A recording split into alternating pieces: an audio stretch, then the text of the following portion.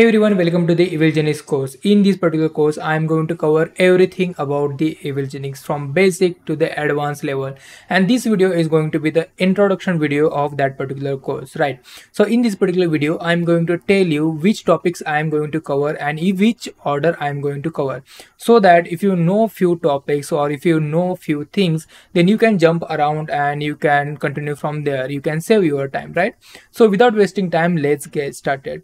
Before going further, here is a quick disclaimer. This video or this course is only for educational purpose or research purpose, right? Don't misuse this particular knowledge because if you are going to miss this particular knowledge, then I'll be not responsible for your any action or whatever the counter action will be taken by the government or corresponding authorities i'll be not responsible for that so make sure you check your legal boundaries and work in that boundaries only right so the first topic I'm going to cover is basics of the domain server DNS. Why domain server DNS?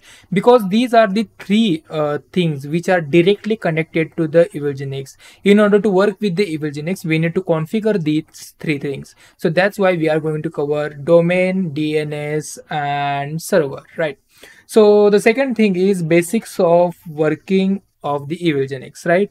So here we are going to understand how exactly EvilGenix functions so that you can implement your logic more effectively, right? So third thing is basics of the Linux. So why Linux?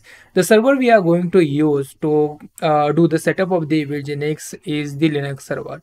So if you are completely beginner, if you don't understand about the Linux, then it will be like really hard time for you to understand which commands are going to be execute uh, while doing some work, right?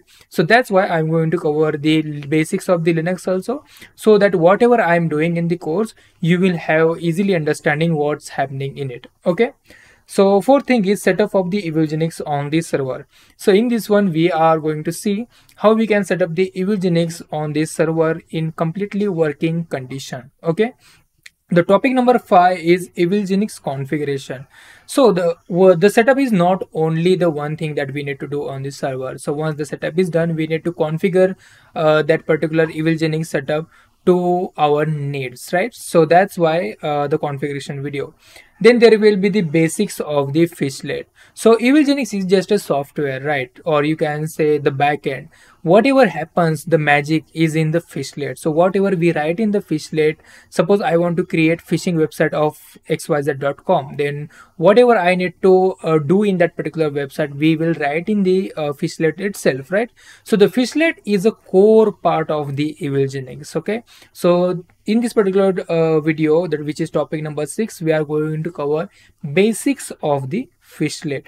In the topic number seven we are going to create the basic fishlet basic working fishlet for xyz website okay? Which website i am going to cover in the course but yeah you can say that uh, xyz website okay? In the topic number 8 we are going to create the intermediate level of the fishlet okay so in the fishlet itself, we have the basic fishlet, intermediate fishlet, and advanced level fishlet, right? So why I'm dividing this uh, uh, fishlet in the three parts? Because it will be much easier if I divide and it will be easier for me to explain to you about the fishlet okay so that you can easily understand so that's why i'm dividing the fishlet part in the basic intermediate and advanced level okay uh, the next part. In the next part i am going to cover the optimization of the EvilGenix so what step you should take to optimize your completely EvilGenix setup right? So that's what i am going to cover. And the topic number 10 is ticks and trips so so far i am been uh, researching about the EvilGenix so far i am working with the EvilGenix so basically i am going to cover what i learned and which tricks you should be using to avoid uh, detections? Which tricks you should be using to avoid let's say turning into the red in the browser right?